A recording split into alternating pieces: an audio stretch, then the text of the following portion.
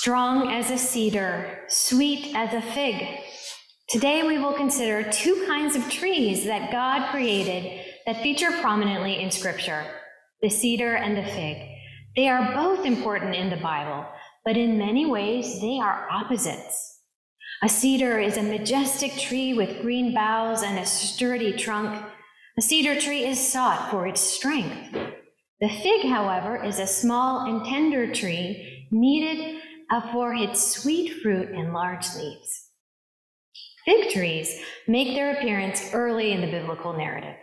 In the Garden of Eden, God provided Adam and Eve with the fig tree for their enjoyment, along with all the other wonderful um, fruits in the garden.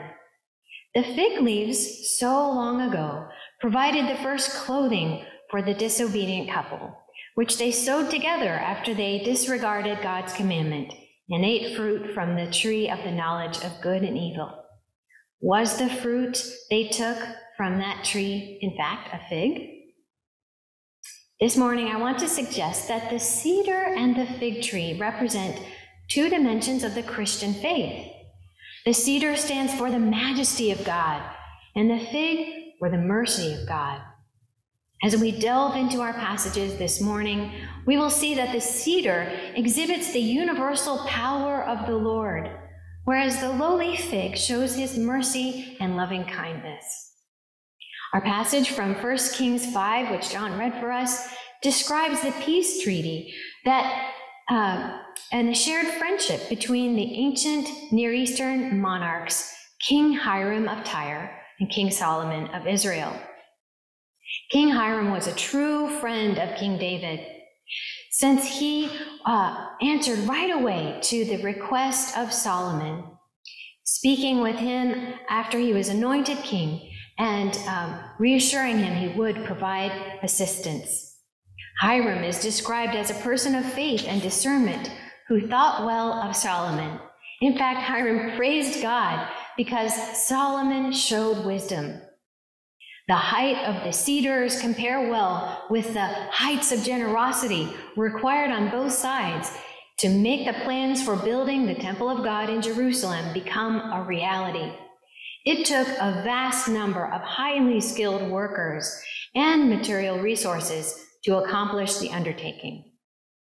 There were no cedar trees in Israel, so they had to be imported. Ever since ancient times, cedars were used by the Egyptians for shipbuilding. You know, the cedar wood is like so good for preserving. That's why you have a cedar closet. It keeps the moths out. They don't want to be anywhere near it. And it also has this water uh, repelling quality. And that's why it could be sent down as rafts um, on the Mediterranean.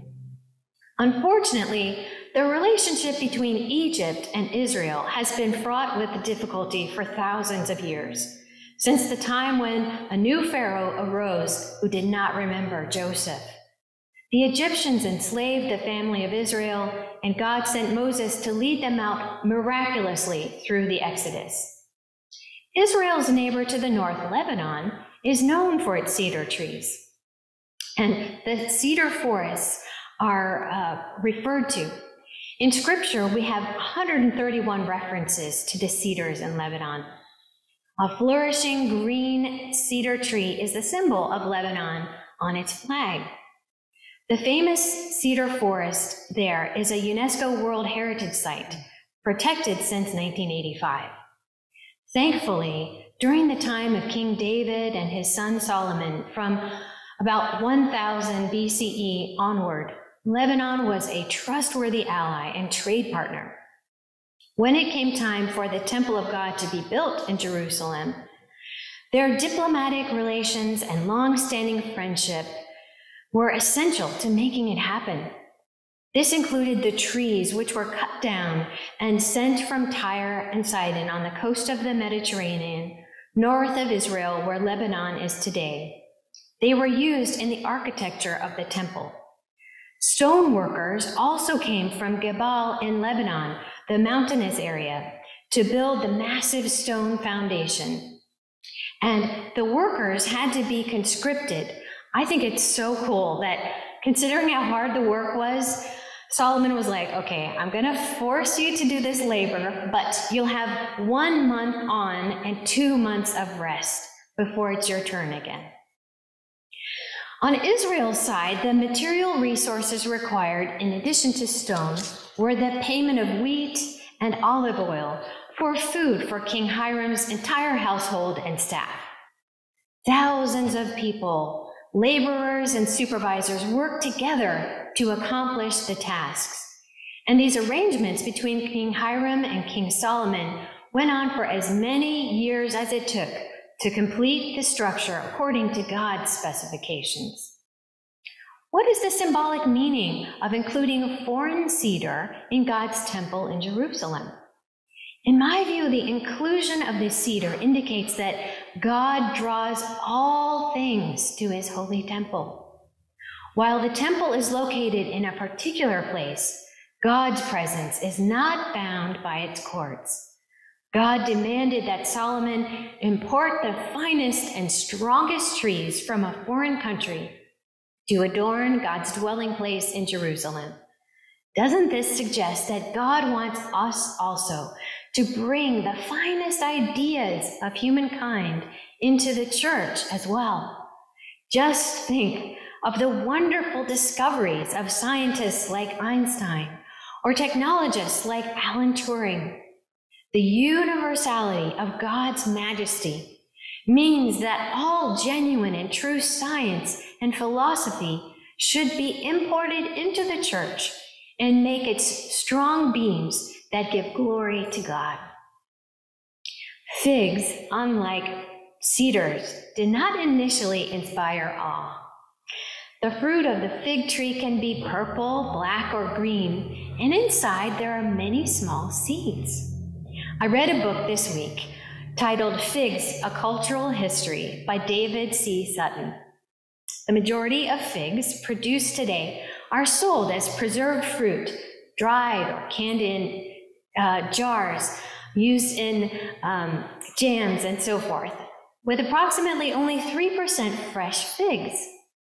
I admit, the first time I ate a fig in Athens, Greece, it took my family some convincing for me to actually try it. I didn't like the look of it. But then when I ate it, I realized how sweet and delightful it is. As you think about scripture, dates are also very sweet, but they have a big pit. Planting a date palm tree is an intentional act, but the many seeds of the fig are a reminder of the role of nature that the birds who eat the figs can scatter and help plant the seeds of the tree far and wide. It's like Jesus' parable of the sower, who generously scatters as many seeds as he can on every field, on every type of soil, in hope that by this generosity, everyone will be blessed by the abundance shared freely everywhere. As we think about it, the fig represents the mercy of God and the fig is a delicacy for Jews, Christians, and Muslims. It's kind of a luxury item.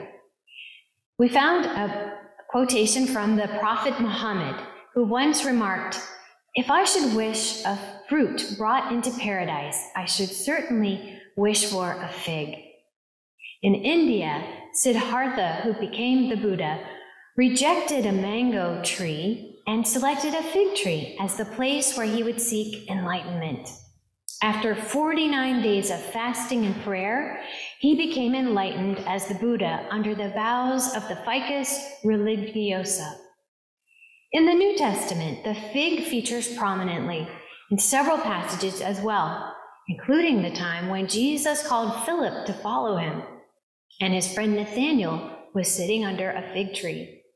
In Jewish tradition, a fig tree with its large leaves is a good place to sit undisturbed when studying the Torah.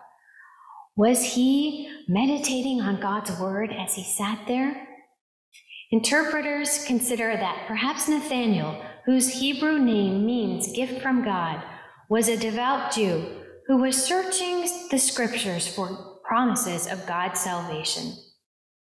And when he met Jesus, he joyfully came to faith that Jesus is the Messiah as soon as he called him. But there is one fig tree episode with a strange twist. In Mark uh, chapter 11, we see Jesus cursed a fig tree in Jerusalem, causing it to wither. Here's what it says Jesus was hungry. Seeing in the distance a fig tree in leaf, he went to find out if it had any fruit. When he reached it, he found nothing but leaves, because it was not the season for figs. Then he said to the tree, May no one ever eat fruit from you again. And the disciples heard him say it.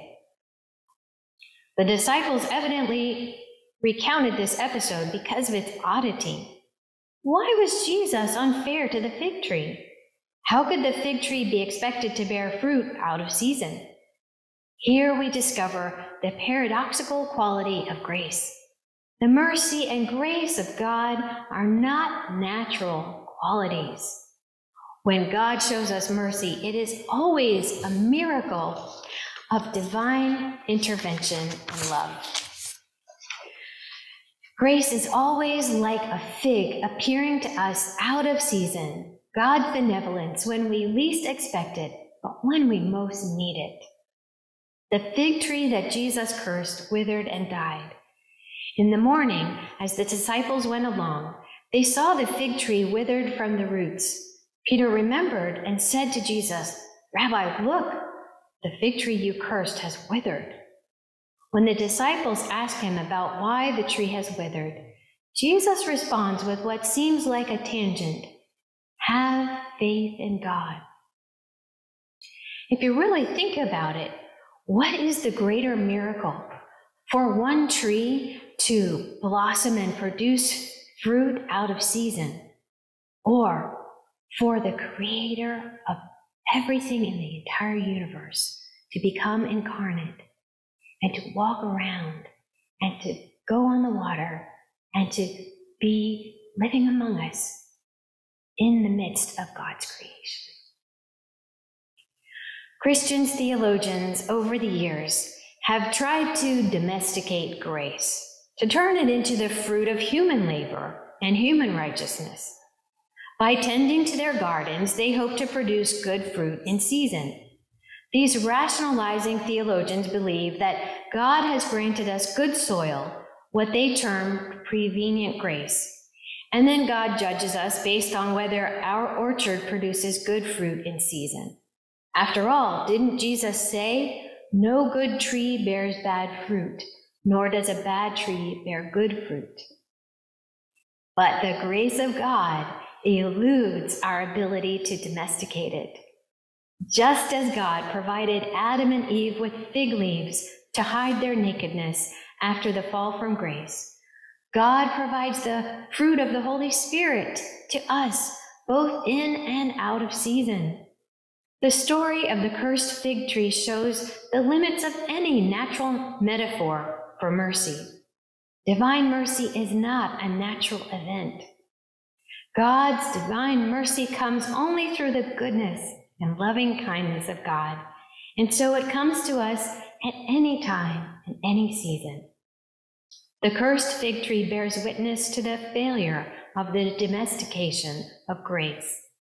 Interestingly, the English church recognized the hidden meaning of this parable in a nearly forgotten feast day called Fig Sunday.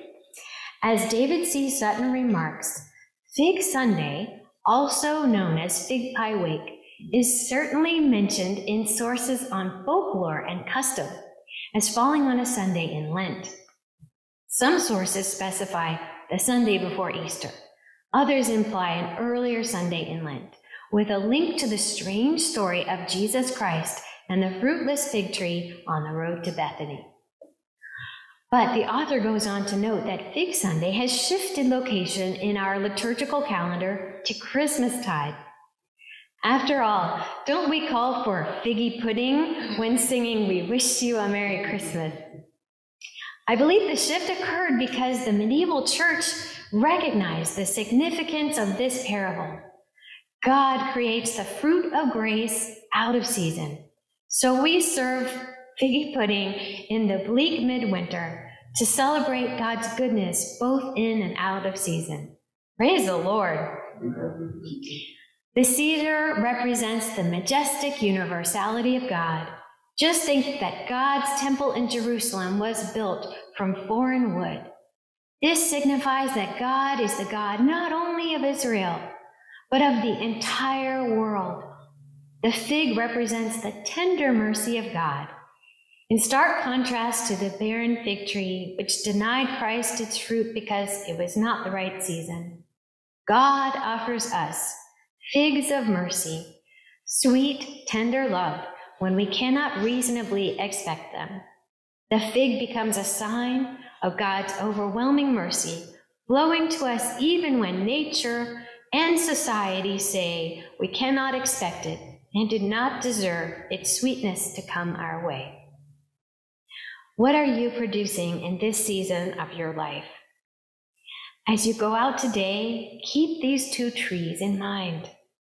You may also find God's wisdom in a foreign country. Do not be afraid to look and bring that richness back to adorn our chapel.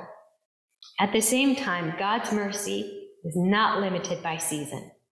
Just as God shows you mercy in season and out, show mercy to your neighbors, whether you think they deserve it or not.